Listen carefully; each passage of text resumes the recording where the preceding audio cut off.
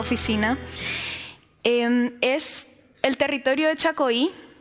Es un territorio de 8.000 hectáreas que queda a mil metros del centro de la ciudad de Asunción por eh, una cuestión de falta de proyectos. Hasta hoy eh, este territorio no está habitado, tiene, tiene 5.000 habitantes, lo que nos da una ventaja de poder hacerlo con proyectos y que no quede al abandono de el destino simplemente.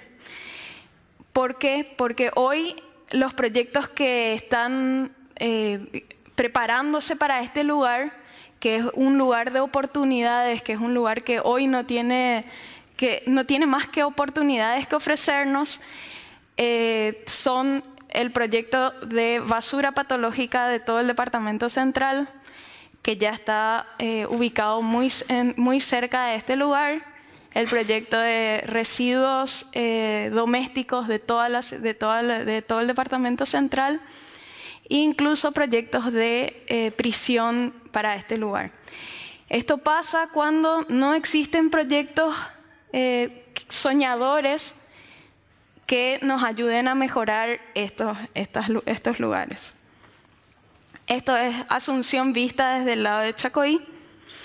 Y cuando empezamos a hacer el análisis de, de todo esto, empezamos a pensar que en realidad teníamos que levantar un poco más la vista y ver un poco más de lejos, empezar a analizar un terreno un poco más grande, porque lo que íbamos a empezar a plantear era la casa para todos.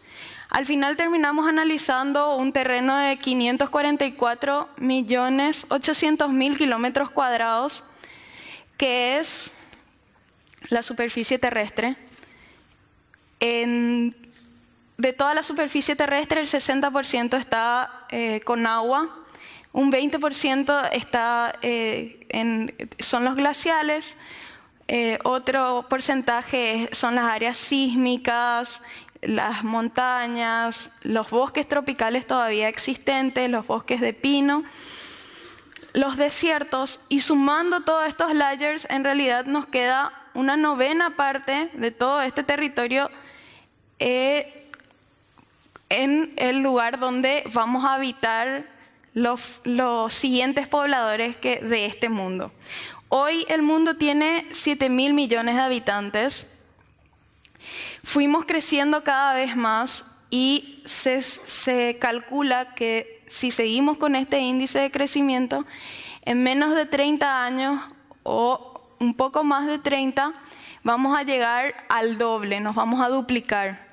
O sea, van a aparecer 7 mil millones de habitantes más y a, estos, a estas nuevas 7 mil personas le tenemos que ubicar, tenemos que ser capaces de ubicarle en un territorio a salvo. Este es el territorio a salvo que nos queda.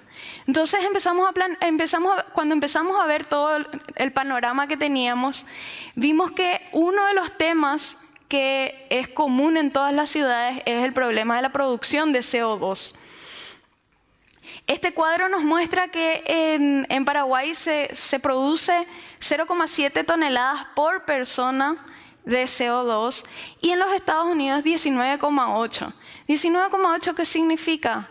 Que hoy si todos los habitantes de la Tierra consumiésemos y produjésemos el CO2 que se produce en los Estados Unidos, necesitaríamos de, de 6 a 7 planetas Tierra. No tenemos. En, promedio se, produce 4,9 toneladas de CO2 por persona. Esto significa que hoy ya necesitamos 1,5 planetas, un planeta y medio. Entonces tenemos que poder invertir toda, esta realidad de este momento. Cuando calculamos el área necesaria de bosque por persona para consumir este CO2 que se produce. Tenemos que en proporciones, en Paraguay lo necesario es esto, en Estados Unidos es esto y en promedio en el mundo es esto. Y lo necesario hoy en promedio es esto y lo existente ya es menor y si seguimos con los mismos niveles de consumo, en realidad llegaríamos a que lo necesario sea esto y lo existente sea esto. Cuando hablamos de plantear las ciudades, el tamaño ideal que la mayoría de los estudios urbanos dicen para una ciudad es no un tamaño en dimensiones, sino un tamaño en tiempo, el que pueda ser recorrido en una hora, no en tres horas y media, no el que pueda ser recorrido en una hora. En una hora que caminando son cuatro kilómetros, en bicicleta son 20, en transporte público son 80 y en trenes de alta velocidad son 400 y en realidad ahora ya el, último tren que, está funcionando ahora funciona a 585 kilómetros por hora. Este tren es un tren de levitación magnética.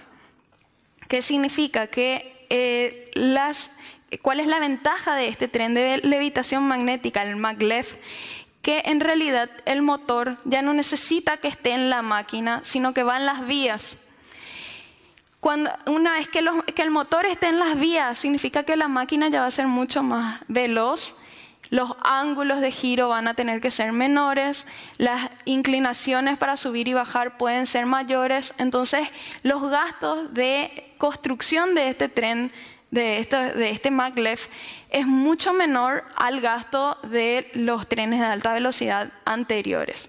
Para tener una idea, eh, un kilómetro de asfalto en, en, Paraguay hoy por todos nuestros niveles de negociaciones, eh, nos cuesta un millón de dólares el kilómetro. Un kilómetro de el, Metrobús eh, nos cuesta 13 millones de dólares. Un kilómetro de metro, de subte, nos cuesta por, por, el tema de la infraestructura que necesita 200 millones de dólares. Y uno de tren normal cuesta 120 millones. ¿Qué y en comparación con el maglev, el maglev hace unos años, cuando se construyó en Estados Unidos un, un tramo, costaba 69 millones de dólares el kilómetro. Y hace dos años, cuando se hace una licitación para conectar Río de Janeiro con San Paulo, eh, el presupuesto que, eso nos, que, que, que se dio ahí fue de 32 millones de dólares el kilómetro. Significa que esta tecnología está bajando eh, velozmente por las facilidades que, tiene, ¿verdad? Y significa que estos, estos cambios están, esta, este, esta bajada de más del 50% en menos de 10 años, lo que va a hacer es que esto cada vez baje más y revolucione totalmente nuestra idea de ciudad. ¿Por qué? Porque en una hora vamos a estar, eh, en media hora vamos a estar en Villarrica y ese tipo de cosas. Entonces, ¿qué es lo que planteamos como ciudad?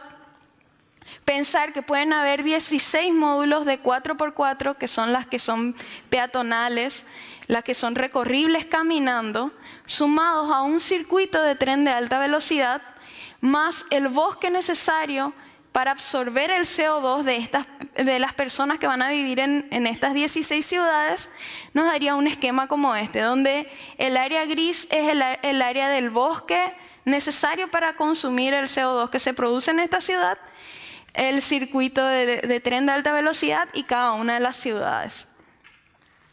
Y lo que nos imaginamos es que esto puede funcionar así, que se va sumando así, que se ve así en América del Sur, América y en realidad tendríamos 1.400 metrópolis de 16 ciudades cada una puestas en un territorio a salvo. Otro de los temas que nos preocupaba es el tema del alimento. Hoy el ser humano, todo el esfuerzo que puso para eh, mejorar la producción de este del alimento para todos, hizo que en realidad, por los avances de la ciencia que hay, hoy se pueda producir alimentos para 14 mil millones de personas, el doble de lo que somos actualmente. Pero el problema es un problema de distribución. El alimento no llega a todas las casas. ¿Por qué? Porque los cultivos cada vez se fueron alejando más de las ciudades. Y entonces un plato, cada vez que nos sentábamos, que nos sentamos a comer, nuestro plato en realidad viajó dos mil kilómetros para llegar a nuestra mesa. Quiere decir que cada vez que toda la humanidad se sienta a comer, a hacer un almuerzo, equivalen a cuatro millones de autos dando una vuelta entera alrededor del mundo en lo que costó trasladar ese alimento. Entonces, ¿qué es importante? Que cuando empecemos a imaginarnos nuestras ciudades, tenemos que poder acercar el alimento a ellas. Hay varios proyectos, hay proyectos de hidropónicas, de cultivos hidropónicos, cultivos aeropónicos, granjas urbanas y todo ese tipo de cosas. Otro de los temas es que las ciudades crecen ilimitadamente. En una vez que se planifica una ciudad, si es que esta está planificada, eh, no hay algo que haga de borde para que la ciudad crezca hasta ahí. Entonces eh, empiezan a aparecer oportunidades diferentes para uno u otro habitante. Los que viven en las favelas y en las villas dicen, no queremos vivir así, queremos vivir aquí. ¿Por qué? porque son capaces de abandonar todo lo que conocieron siempre, todo lo que siempre tuvieron ahí, a sus familiares, a sus vecinos, con tal de venir cerca de las ciudades para poder tener esa oportunidad de mejorar, muchas veces viviendo de una manera miserable, pero para poder llegar en algún momento a tener esa oportunidad. Entonces, lo que tenemos que poder imaginarnos son ciudades que nos den oportunidades para todos. En la ciudad de Asunción hay 600.000 habitantes eh, en, la actualidad. Toda el área gris que se ve ahí es el área de, de conurbación de la ciudad. Diariamente entran y salen a la ciudad de Asunción 1.500.000 personas. 1.500.000 personas puestas en nuestro parque automotor, que es este, significan 1900 kilómetros de, tráfico. Es imposible que poniendo más carreteras, poniendo más vías, poniendo, eso se mejore. Es imposible que también solo trabajando puntualmente en el, transporte público eso mejore. Porque tiene que ser un trabajo en conjunto, tienen que ser, tiene que ser un trabajo de densificación, tiene que ser un trabajo de, de mejorar los transportes, tiene que ser un trabajo total del conjunto entero. volviendo a este esquema, si este esquema bajamos al territorio, en realidad se vería más o menos así, identificando cada 30 kilómetros una ciudad.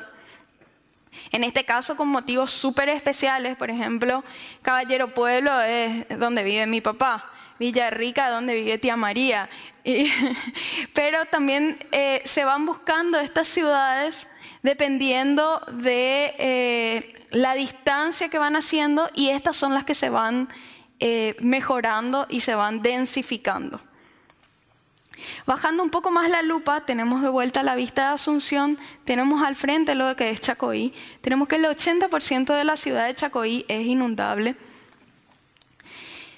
Este es el, territorio, ahí se ve porque es inundable, donde están las, las las, cómo están las cotas que casi prácticamente del lado de Chacoí no existen. Entonces lo que nos imaginábamos era que lo que podíamos hacer eran plataformas de relleno de refulado del río de un kilómetro, que es lo, que, es lo que se camina en 10 minutos, por 4 kilómetros, que es lo que hacemos en una hora, densificadas. Entonces esto desocuparía esta área con la densificación que tenemos hoy en Asunción para poder empezar a hacer las transformaciones del, lado de Asunción. Entonces nos imaginábamos que teníamos una plataforma, una segunda, una tercera y una cuarta vinculadas a la ciudad de Asunción por un circuito eh, de agua y al circuito del de el tren de alta velocidad. Esto es en, periodos de inundación. Esto es la plataforma vista ahí con, los, eh, con la llegada, con el acceso.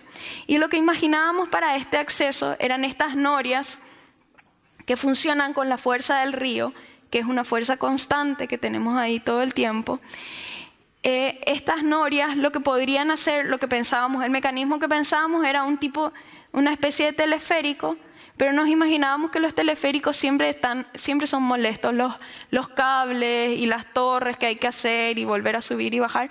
Entonces imaginábamos que esto podía ser así.